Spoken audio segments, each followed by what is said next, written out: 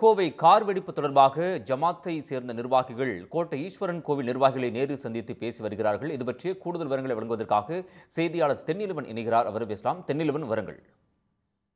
நிச்சயமாக அதாவது கடந்த இருபத்தி மூன்றாம் தேதி கோவை கோட்டமேடு பகுதியில் உள்ள சங்கமேஸ்வரர் கோயில் அருகே கார் வெடித்த சம்பவம் வந்து ஒரு பரபரப்பை ஏற்படுத்தியது.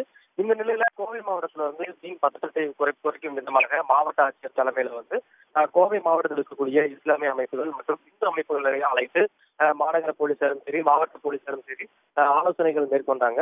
இந்த நிலையில தற்போது அந்த சம்பவம் நடந்த சங்கமேஸ்வரர் கோயில் நிர்வாகிகளை வந்து அதாவது கோட்டைமேடு பகுதியில் இருக்கக்கூடிய மூன்று ஜமாத்துக்களை சேர்ந்த நிர்வாகிகள் தற்போது நேரில் சந்தித்து அவர்களிடம் ஆலோசனை மேற்கொண்டு வராங்க. குறிப்பாக இந்த கார் வெடிப்பு சம்பவத்தின் போது கோயிலின் வெளியே வந்து என்னென்ன பாதிப்புகள் ஏற்பட்டு ஏற்பட்டிருக்கிறது இதுக்கு அதாவது இந்த பாதிப்புகளை சரி செய்வதற்காக ஒருங்கிணைந்து செயல்படலாமா என்பது குறித்தெல்லாம் வந்து பேசிட்டு இருக்காங்க. குறிப்பாக இந்த பகுதி அதாவது இந்த கோட்டை கோட்டைமேடு பகுதி பாத்தீங்கன்னா அதாவது ப- பள்ளிவாசல்களும் கோயில்களும் வந்து அஹ், இருக்கக்கூடிய பகுதி தான் எனவே மத நல்லிணக்கத்தை ஏற்படுத்தும் வகையிலும் இந்த பேச்சு இந்த இந்த ஆலோசனையானது தற்போது நடைபெற்று வருகிறது.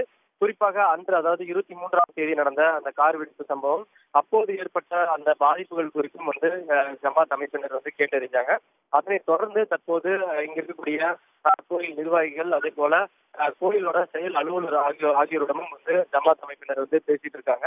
அஹ், அதாவது இந்த பகுதியில் வேறு ஏதேனும் பாதுகாப்பு நடவடிக்கைகளோ அல்லது வேறு என்னென்ன சேவைகள் வேண்டும் அதே போல இந்த மத நல்லிணக்கத்தை ஏற்படுத்த இணைந்து செயல்படுவது குறித்தெல்லாம் வந்து தற்போது இந்த ஆலோசனையானது நடைபெற்று வருகிறது. தகவல்களுக்கு நன்றி தென்னிலவன். உடனுக்குடன் செய்திகளை தெரிந்து கொள்ள சன் நியூஸ் பெல் ஐகானை கிளிக் பண்ணுங்க.